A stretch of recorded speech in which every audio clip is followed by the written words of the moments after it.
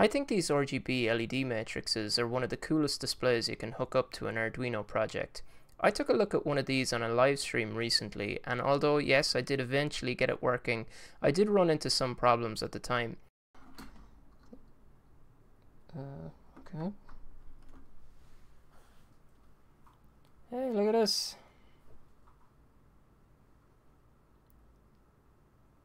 I'm actually so happy. It doesn't seem to be working right, but so happy all the time. I've been getting a lot of questions about the display, and rather than pointing people to a 3 hour live stream, I thought I'd condense it down to a couple of minutes and show you what we learned. I guess a good place to start would be what kind of display is this. The one that I got is a P3 matrix with a resolution of 64 by 32. These displays come in a lot of different configurations and sizes, and as far as I know they all work the same, but I've only ever used this one so I can't say for sure. The P3 part of the name indicates that it has a 3mm pitch. What this means is that there's a 3mm gap between each LED. You can also get this in different sizes too.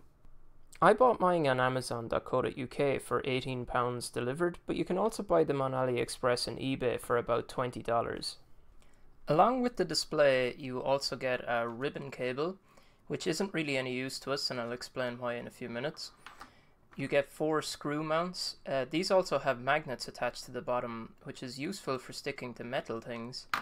And then also the power supply cable. We can make use of this. Additional things you'll need to get the display working is a pretty large 5 volt power supply. For the 64 by 32 you need up to 6 amps, so this is an 8 amp one. You can also get these types of power supplies either, but I prefer the more laptop style ones because you'll need to wire mains voltage to here and I prefer to not electrocute myself. In addition to the power supply, you'll also need an ESP8266 board. This is a Wemos D1 Mini. They're my personal choice because they're so cheap and small. You'll also need some female to female DuPont cables. You kind of need the 20 centimeter ones, and I'll explain why in a few minutes, but uh, they're pretty cheap as well, so there's no issue with that. And then finally, you'll need a way of connecting your power supply to these cables here. The Adafruit Learn guide shows the power cables connected to the adapter like this.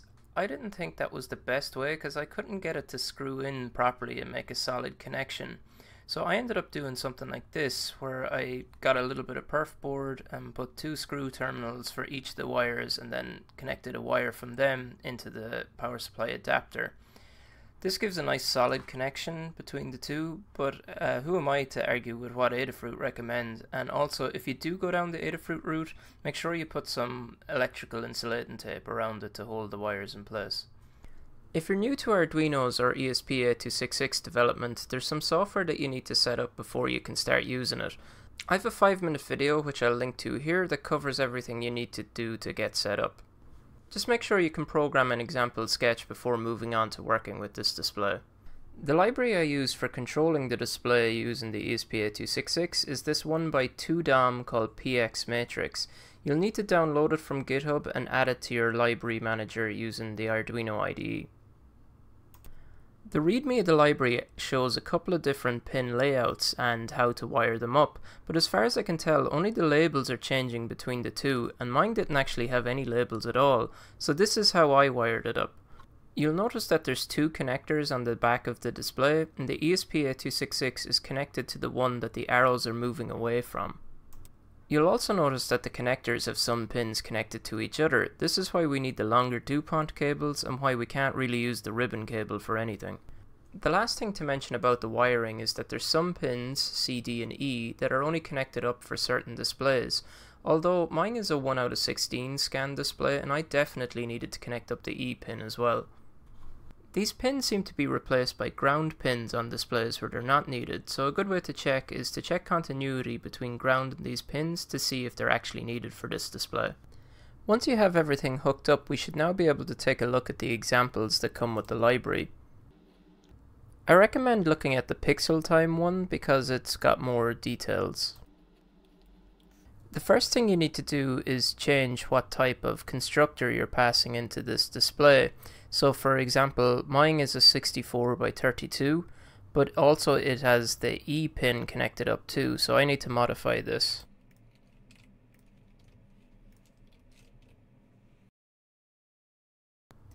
The last thing we need to change is the scan rate. So for example, mine is a 1 is to 16, so I need to pass 16 into this display.begin. You should then be able to upload the sketch and see the following on your display. It's worth noting that those pixels that are flickering in the middle, I can't see them in person, it's just my webcam picking it up like that. And just to further try out the display, I decided to create a YouTube subscriber counter using my YouTube API library. I'll leave a link to the code for this in the description below. My webcam is actually having a hard time picking up the colours of this display, but it's actually much more vibrant when you see it in person. I do have to point out one flaw with this YouTube subscriber counter is that it kind of flickers when it's loading the data. This might make a good candidate for the dual cores of an ESP32, so I'll probably visit this project again. And hopefully that's everything to get started with what I think is the coolest display that you can connect to an Arduino at the moment.